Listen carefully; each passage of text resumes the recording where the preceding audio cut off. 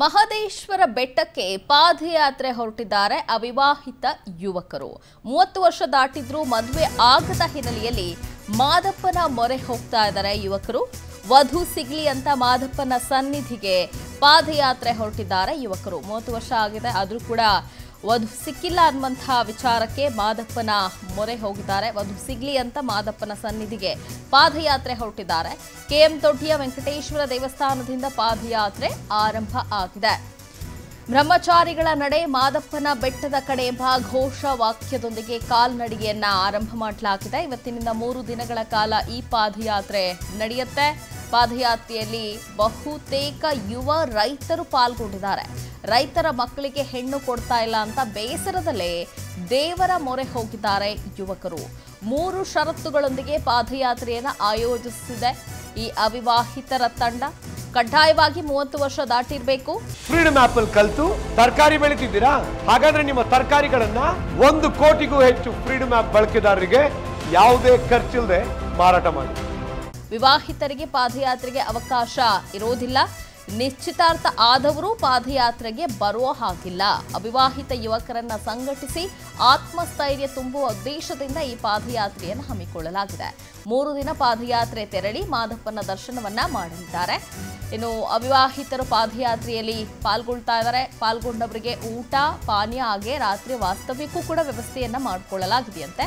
ಮಂಡ್ಯದ ಕೆಎಂ ದೊಡ್ಡಿ, ಮಳವಳ್ಳಿ, ಕೊಳ್ಳೆಗಾಲ ಹನೂರು ಮಾರ್ಗವಾಗಿ ಮಹದೇಶ್ವರ ಬೆಟ್ಟವನ್ನ ಈ ಯುವಕರ ತಂಡ ತಲುಪುತ್ತೆ ಎನ್ನುವಂಥ ಮಾಹಿತಿ ಕೂಡ ಲಭ್ಯ ಆಗಿದೆ. ಇನ್ನು ಬಗ್ಗೆ ಮತ್ತಷ್ಟು ಡೀಟೇಲ್ಸ್ ಕೊಡ್ತಾರೆ ನಮ್ಮ ಪ್ರತಿನಿಧಿ ಬಾಲಕೃಷ್ಣ. ಬಾಲಕೃಷ್ಣ ನಿಜಕ್ಕೂ ಒಂದ್ ಕಡೆ ಬೇಜ, ಬೇಜಾರಿನ ವಿಷಯ. ರೈತ ಯುವಕರಿಗೆ ವಧು ಸಿಗೋದಿಲ್ಲ ಅನ್ನೋದು ಬಹಳ ಸಲ ನಾವು ಕೇಳಿದ್ದೀವಿ. ರೈತನ ಮಗು ಹುಡುಗ ಅಂತ ಹೇಳಿದ ತಕ್ಷಣ ವಧು ಕೊಡದೇ ಇರೋದು. ಅಂಥವ್ರು ಈಗ ಪಾದಯಾತ್ರೆಗೆ ಹೊರಟಿದ್ದಾರೆ. ಮೂಲ ಉದ್ದೇಶ ವಧು ಸಿಗೋದೇ ಆಗ್- ಆಗಿದೆಯಾ, ಹೇಗೆ? ಜೊತೆಗೆ ಅವರ ಷರತ್ತುಗಳನ್ನು ಕೂಡ ನಾವಿಲ್ಲಿ ಗಮನಿಸ್ತಾ ಇದ್ವಿ ಇದರ ಬಗ್ಗೆ ತಿಳಿಸೋದಾದ್ರೆ.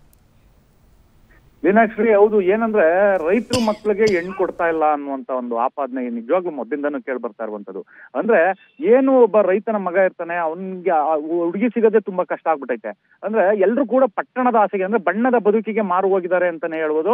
ಆದ್ರೆ ಇಲ್ಲಿ ರೈತರು ಕೂಡ ಸಂಪಾದನೆ ಮಾಡ್ತಾರೆ, ರೈತರು ಕೂಡ ತಮ್ಮ ಸಂಪಾದನೆಗಳನ್ನ ಇಡ್ತಾರೆ, ತಾವು ಕಟ್ಕೊಂಡಂತ ಹೆಂಡತಿನ ತುಂಬಾ ಚೆನ್ನಾಗಿ ನೋಡ್ಕೋತಾರೆ ಅನ್ನೋದು ನಿಜವಾಗ್ಲೂ ಈ ಹೆಣ್ಮಕ್ಳಿಗೆ ಅರ್ಥ ಆಗ್ತಾ ಇಲ್ವೋ ಏನೋ. ಇದರಿಂದ ಈಗ ಈ ಒಂದು ಗುಂಪು ಬೇಸತ್ತೋಗಿದೆ ಅಂತಾನೆ ಹೇಳ್ಬೋದು. ಏನಂದ್ರೆ ಮೂವತ್ತು ವರ್ಷ ದಾಟಿದ್ರು ಕೂಡ ಹೆಣ್ ಸಿಗ್ತಾ ಇಲ್ಲ ಅವ್ರಿಗೆ ಮದುವೆ ಆಗ್ತಾ ಇಲ್ಲ. ನಾವು ರೈತರಾಗಿ ಹುಟ್ಟಿದ್ದೇ ತಪ್ಪ, ರೈತರ ಮಕ್ಕಳಾಗಿ ಹುಟ್ಟಿದ್ದೇ ತಪ್ಪ, ದೇಶದ ಬೆನ್ನೆಲುಬು ರೈತ ಅಂತ ಹೇಳ್ತಾನೆ. ಆದ್ರೆ ಆ ರೈತನ ಮಕ್ಕಳಿಗೆ ಹೆಣ್ ಕೊಡ್ತಾ ಇಲ್ಲ ಅಂದ್ರೆ ಇನ್ನು ಯಾವ ಪರಿಸ್ಥಿತಿ ಹೋಗಿ ತಲುಪಿದೆ ರೈತರು, ರೈತರ ಪರಿಸ್ಥಿತಿ ಅನ್ನೋದನ್ನ ಒಂಚೂರು ಅರ್ಥ ಮಾಡ್ಕೊಳ್ಳೇಬೇಕಾಗುತ್ತೆ. ಇವಾಗ ಇವರು ಬೇಸತ್ತು ಈ ಒಂದು ಪಾದಯಾತ್ರೆ ಹಮ್ಮಿಕೊಂಡಿರುವಂತದ್ದು ಅಂದ್ರೆ ನಮ್ಗೆ ಹೆಣ್ ಸಿಗ್ತಾ ಇಲ್ಲ, ಭಗವಂತ ನೀನಾದ್ರೂ ನಮ್ಗೆ ಕರುಣಿಸಪ್ಪ, ನಮ್ಗೆ ಹೆಣ್ ಕೊಡ್ಸಪ್ಪ ಅನ್ನೋ ರೀತಿಲಿ ನೊಂದ ಜೀವಗಳು ಅಂತಾನೆ ಹೇಳ್ಬೋದು. ಯಾಕೆಂದ್ರೆ ನಾವು ರೈತರ ಮಕ್ಕಳಾಗಿದ್ದೀವಿ ನಮ್ಗೆ ಯಾರೂ ಹೆಣ್ಣು ಕೊಡ್ತಾ ಇಲ್ಲ ಅಂತ ನೊಂದ ಜೀವಗಳು ಇವರು. ಈ ಒಂದು ಪಾದಯಾತ್ರೆನ ಮಾಡ್ತಾ ಇರುವಂತದ್ದು ಅಂದ್ರೆ ದೇವ್ರ ಮೊರೆ ಹೋಗ್ತಾ ಇರುವಂತದ್ದು ಮಹದೇಶ್ವರ ಬೆಟ್ಟಕ್ಕೆ ಪಾದಯಾತ್ರೆ ಹೋಗಿ ದೇವ್ರ ಮೊರೆ ಹೋಗ್ತಾ ಇರುವಂತದ್ದು ಮತ್ತೆ ಇಲ್ಲಿ ಇವರೊಂದು ಕಂಡೀಷನ್ ಕೂಡ ಹಾಕೊಂಡ್ರು. ಏನಂದ್ರೆ ಈ ಪಾದಯಾತ್ರೆಯಲ್ಲಿ ಪಾಲ್ಗೊಳ್ತಾ ಇರುವಂತವ್ರಿಗೆ ಯಾವ ಒಂದು ನಿಶ್ಚಿತಾರ್ಥನೂ ಕೂಡ ಆಗಿರಬಾರ್ದು. ಅಂದ್ರೆ ಮೂವತ್ತು ವರ್ಷ ದಾಟಿರ್ಬೇಕು. ಅಂದ್ರೆ ಒಬ್ರು ಗೆಳತಿನೂ ಇರಬಾರ್ದು ಅವ್ರಿಗೆ. ಈ ರೀತಿ ಒಂದು ಕಂಡೀಷನ್ ಹಾಕೊಂಡು ಎಲ್ಲರೂ ಬ್ರಹ್ಮಚಾರಿಗಳೇ ಈ ಪಾದಯಾತ್ರೆ ಪಾಲ್ಗೊಳ್ತಾ ಹೋಗ್ತಾ ಇರುವಂತದ್ದು. ಇದು ಮೂರು ದಿನ ನಡೆಯುವಂತ ಪಾದಯಾತ್ರೆ. ಈ ಪಾದಯಾತ್ರೆಯಲ್ಲಿ ಪಕ್ಕಾ ಬ್ರಹ್ಮಚಾರಿಗಳೇ ಇಲ್ಲಿ ಹೋಗ್ತಾ ಇರುವಂತದ್ದು. ನಿಜವಾಗ್ಲೂ ಇವ್ರು ಮಾತಾಡೋ ರೀತಿ ಎಲ್ಲ ನಿಜವಾಗ್ಲೂ ಪಾಪ, ಅಯ್ಯೋ ಪಾಪ ಅನ್ಸುತ್ತೆ. ಯಾಕಂದ್ರೆ ಈ ರೈತರು ಮಕ್ಕಳನ್ನ ಹುಟ್ಟಿರೋದೇ ತಪ್ಪ ಸರ್ ನಮ್ಗೆ ಯಾರು ಎಣ್ಣೆ ಕೊಡ್ತಾ ಇಲ್ವಲ್ಲ ಸರ್? ಎಷ್ಟು ಕೇಳಿದ್ರು ಕೊಡ್ತಾ ಇಲ್ಲ. ನಮಗೂ ಆಸ್ತಿ ಇದೆ ಅಂತಸ್ತಿದೆ ಆದ್ರೂ ಕೂಡ ನಮ್ಗೆ ಯಾಕೆ ಹೆಣ್ಮಕ್ಳು ನಮ್ಮನ್ನು ಒಟ್ಟಾರೆ ಹೇಳ್ಬೇಕು ಅಂದ್ರೆ ಇದು ಮಂಡ್ಯ ಜಿಲ್ಲೆ ಅಷ್ಟೇ ಅಲ್ಲ ಇಡೀ ಕರ್ನಾಟಕದಲ್ಲೇ ಈ ಒಂದು ಪ್ರಾಬ್ಲಮ್ ಇದೆ ಅಂತಾನೆ ಹೇಳ್ಬೋದು. ಯಾಕೆಂದ್ರೆ ರೈತರು ಮಕ್ಳು ಎಲ್ಲವ್ರೆ ಅವ್ರಿಗೆ ಹೆಣ್ಣು ಸಿಗದೆ ಇರುವಂತದ್ದು. ಇರುವಂತದ್ದು ತುಂಬಾ ಜೀವಗಳು ಅಂತ ಹೇಳ್ಬೋದು Leenashree thank you Balakrishna.